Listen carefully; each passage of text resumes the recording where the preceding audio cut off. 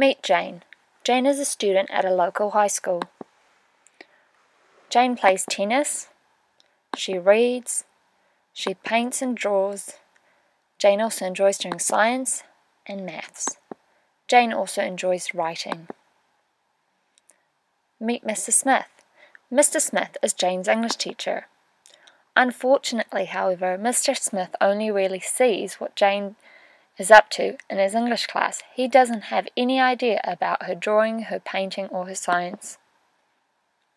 Fortunately, Jane decided that she would like to have an e-portfolio.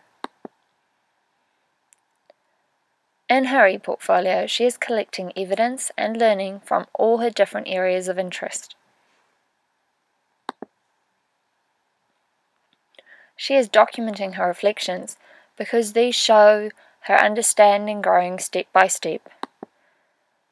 She has photos in her portfolio, photos of the work that she's done both in art class, but also photos of other work that she's produced elsewhere.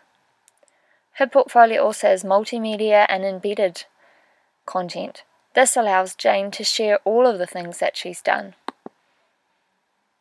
Jane is also documenting her writing because this will allow her to share her writing later on when she's looking for a job. Jane is using her portfolio as a showcase as well. She can share with her family, with her teachers, but also with potential employers.